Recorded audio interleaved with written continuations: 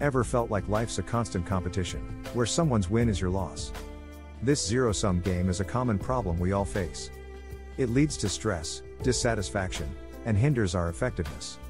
Here's a solution Think win win. Imagine this you're an entrepreneur with a local coffee shop, but a new cafe has opened across the street, attracting many of your customers.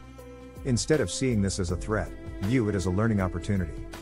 Visit the new cafe, try their products, understand what they're doing differently. Rather than letting rivalry breed resentment, use this situation to learn and improve your own business.